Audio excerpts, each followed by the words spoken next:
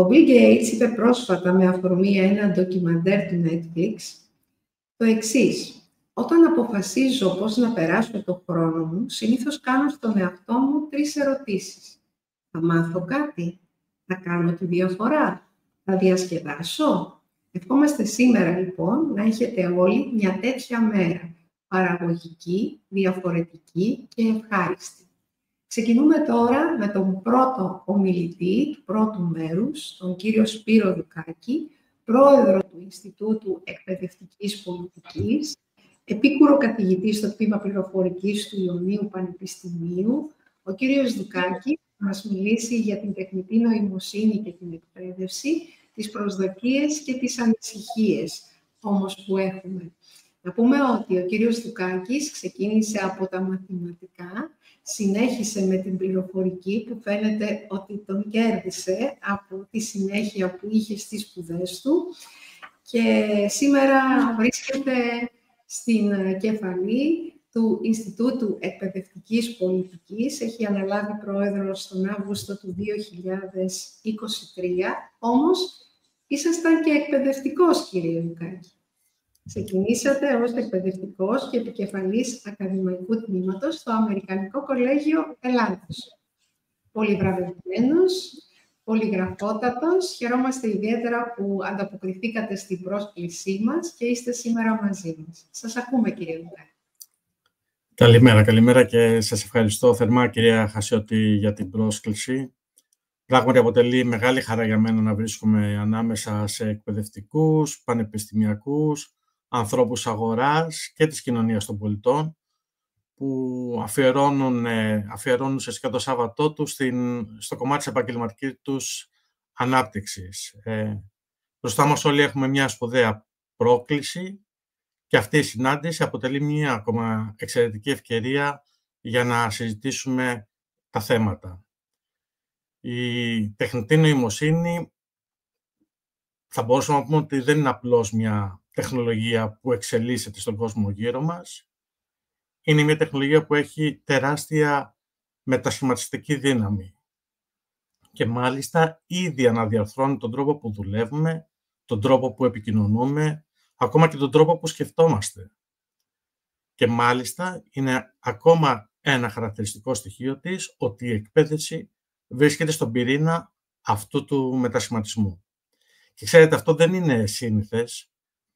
Παλαιότερα οι τεχνολογικές εξελίξεις στον χώρο της εκπαίδευσης έρχονταν από άλλους τομείς και κάποια στιγμή τις εξετάζαμε και για να τις εντάξουμε στην εκπαίδευση.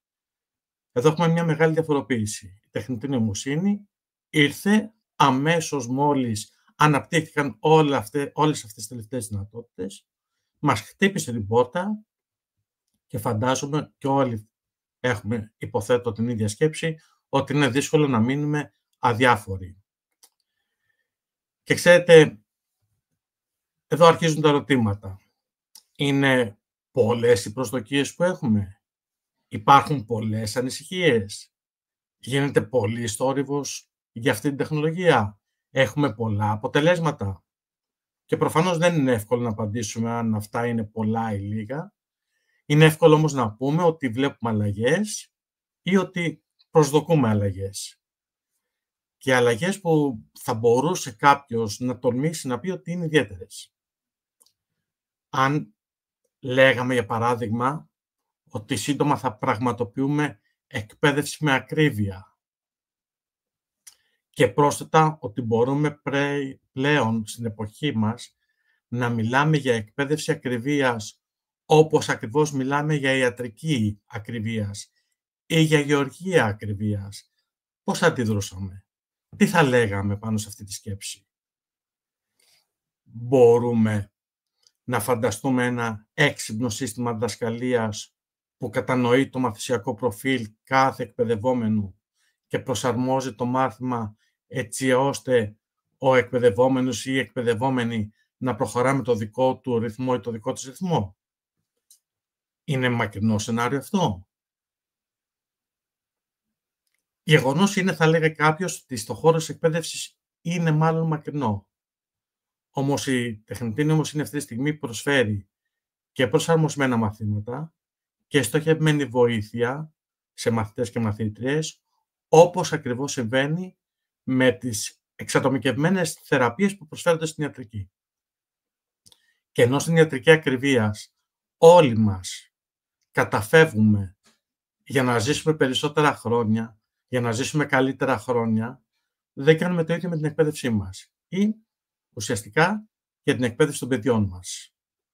Δηλαδή, για την εκπαίδευση των παιδιών μας, ώστε να αποκτήσουν μια καλύτερη παιδεία και μια ολοκληρωμένη εκπαίδευση. Αλλά δεν είναι μόνο αυτό. Η τεχνητή νοημοσύνη μπορεί να αναγνωρίσει μοτίβα σε επιδόσεις των μαθητών και μαθητριών, να προσφέρει αναλυτικά δεδομένα για την απόδοση των μαθητών μας και των μαθητριών μας.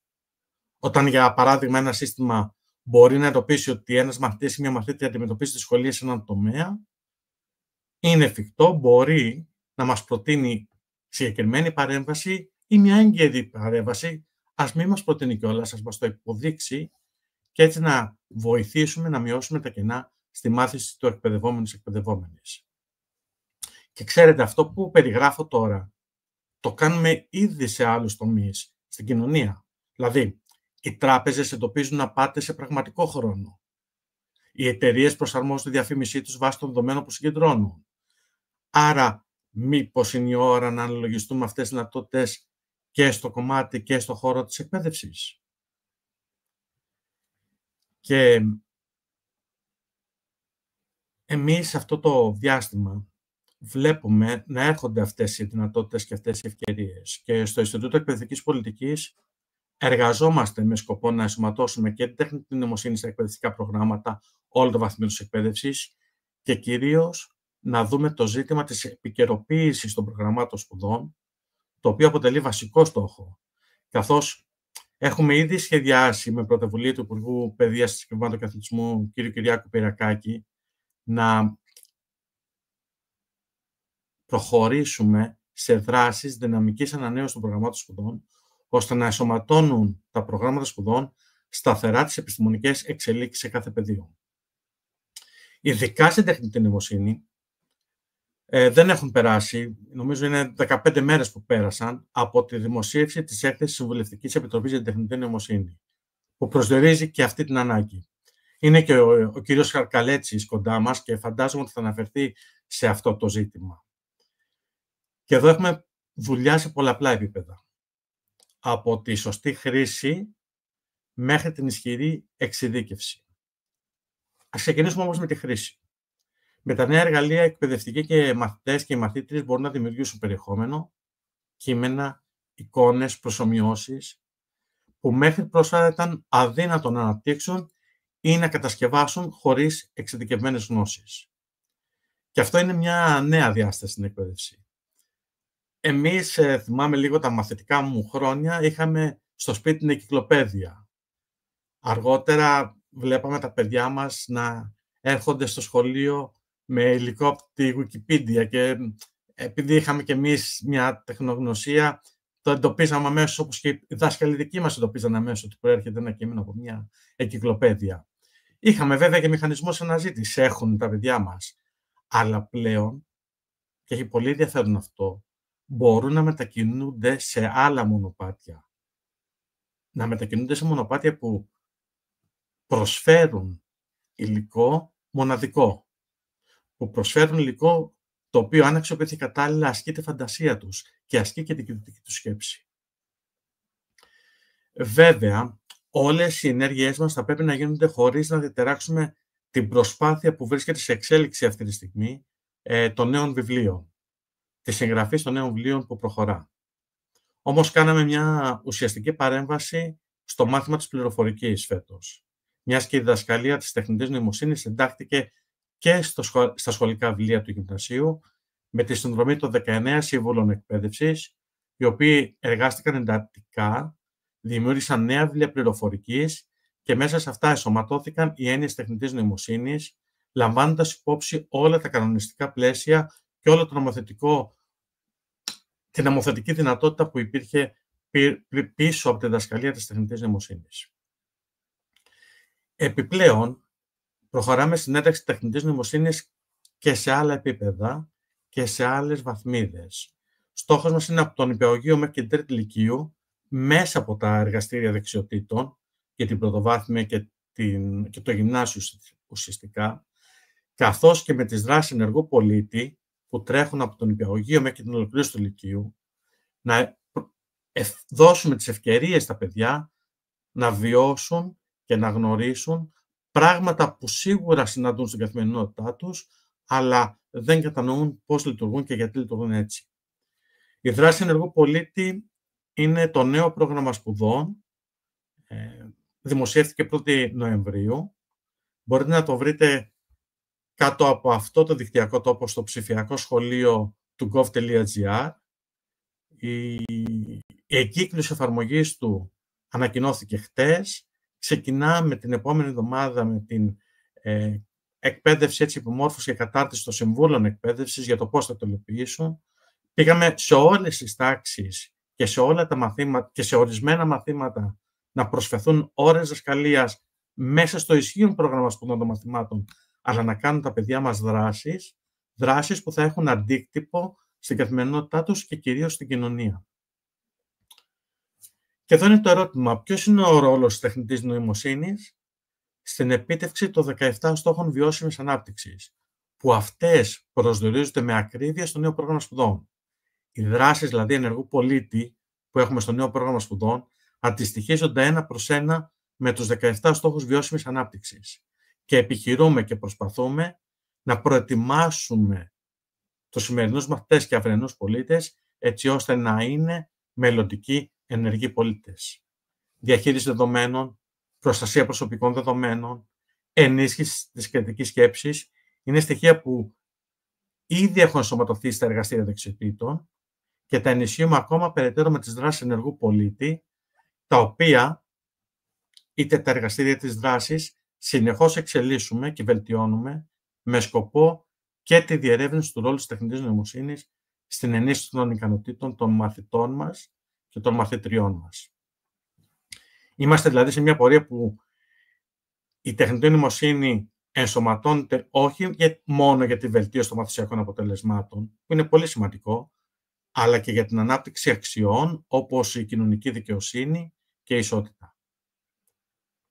Η τεχνητή νοημοσύνη προσφέρει πράγματι ένα μεγάλη, μια μεγάλη βεντάλια, θα λέγαμε, δυνατοτήτων και για τους εκπαιδευτικούς. Αξιολόγηση γραπτών, διαχείριση διοικητικών υποχρεώσεων, με στόχο να υπάρχει περισσότερος χρόνος για δημιουργική διδασκαλία και για προσωπική επαφή με τους μαθητές και τις μαθήτριες. Βεβαίως, όλη αυτή η πορεία δεν είναι καθόλου εύκολη και απαιτεί και συνεχείς προσπάθειες. Και έχουμε μπροστά μας ένα πλήθος ηθικών διλημάτων και ζητημάτων διακρίσεων, το οποίο χρειάζεται επίσης να διαχειριστούμε. Έχουμε δεδομένα τα οποία συχνά περιέχουν προκαταλήψεις. Προσδιορίστηκε αυτό ήδη από τον Υπουργό πριν από λίγο. Αν αυτά, αν αυτές οι προκαταλήψεις δεν εντοπιστούν, οι αλγόριθμοι μπορεί να διαιωνίσουν ή και να επιδεινώσουν τις ανισότητες, ακόμα και στην εκπαίδευση, και αυτό είναι πολύ κρίσιμο. Ακολούθως, χρειάζεται όλοι να αναγνωρίζουμε ότι η μάθηση δεν είναι μετάδοση γνώσεων, αλλά ανάπτυξη σχέσεων, ανάπτυξη συναισθημάτων, ανάπτυξη αξιών και ουσιαστικά η μάθηση επιτυχάνεται και το έχουμε βιώσει όλοι, όλοι αυτό ως εκπαιδευτικοί στην τάξη όταν τα παιδιά μας, οι μαθητές μας και οι μαθήτριές μας νιώσουν ότι εμείς είμαστε εκεί για να τους διευκολύνουμε να μάθουν. Όμως, από την άλλη, η μεγάλη και πιθανώς υπερβολική εξάρτηση από τεχνολογικά μέσα να αποδυναμώσει αυτό το ρόλο μας, το ρόλο του μέντορα, το ρόλο του διευκολυτή, που είναι κυρίαρχος και πολύ σημαντικός για να βελτιώσουμε τα παιδιά, τις μαθησιακές επιδόσεις των παιδιών μας, αλλά και να τους κάνουμε ενεργούς πολίτες και κατάλληλους στην κοινωνία. Ταυτόχρονα, η συλλογή και η επεξεργασία των προσωπικών δεδομένων των μαθητών και των μαθητριών μας και των, και των δικών μας ως εκπαιδευτικοί που είμαστε, εγείρει σοβαρά ζητήματα ασφάλειας και προστασίας ιδιωτικότητας. Ποιος ελέγχει αυτά τα δεδομένα και για ποιους σκοπούς χρησιμοποιούνται. Εδώ πάλι ο Υπουργός πριν περιέγραψε πράγματα που έρχονται μπροστά μας και γίνονται ακριβώς για να νιώθουμε όλοι ασφαλείς, να έχουμε τα κέντρα που μαζεύονται δεδομένα στη χώρα μας, έτσι ώστε να μην έχουμε τέτοια ζητήματα.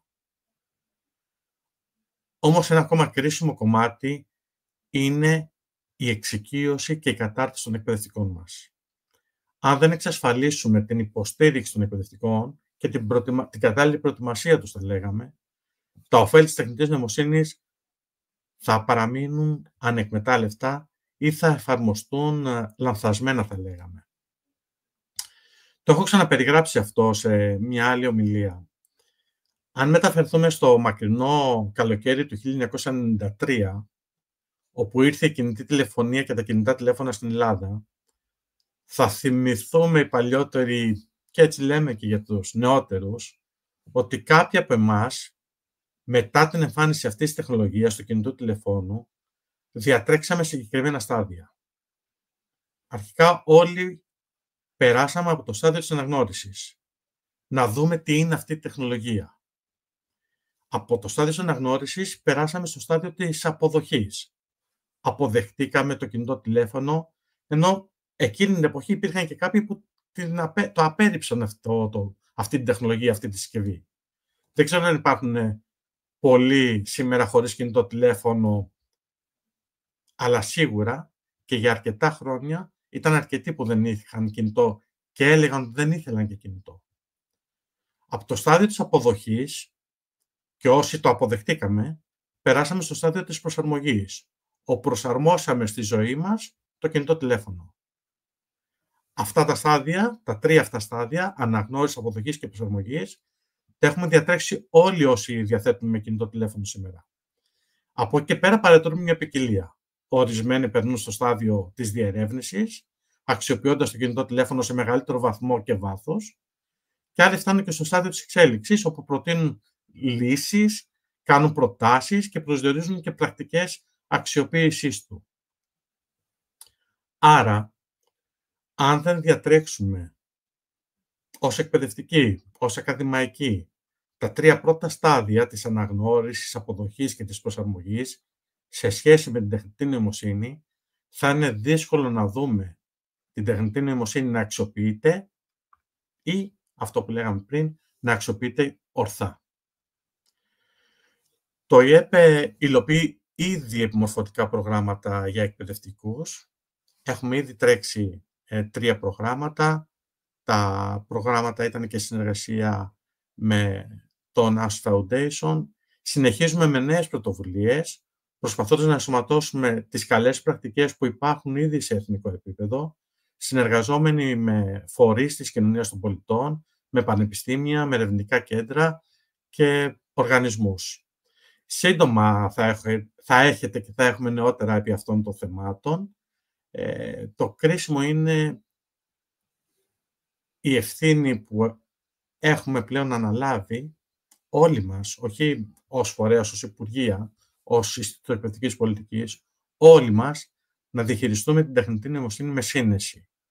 Να αξιοποιήσουμε τις ευκαιρίες που μας προσφέρει και να διασφαλίσουμε ότι θα υπηρετήσει την εκπαίδευση με εκείνον τον τρόπο που θα ενισχύει και την κοινωνική συνοχή και τις αξίες που καθορίζουν αυτή τη συνοχή.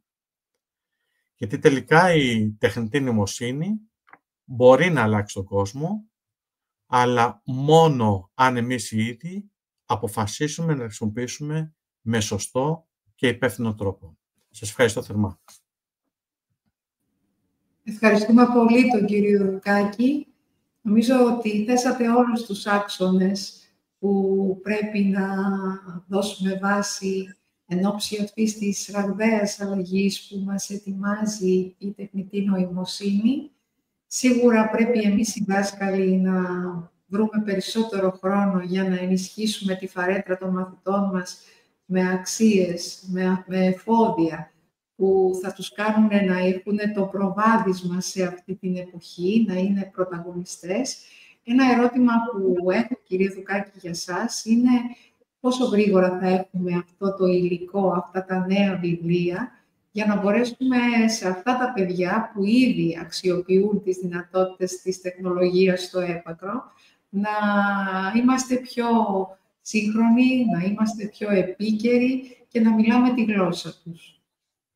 Ευχαριστώ πολύ έτσι, γιατί είναι και μια περίοδος τώρα που τρέχει όλο αυτό το, το project και είναι και σημαντικό.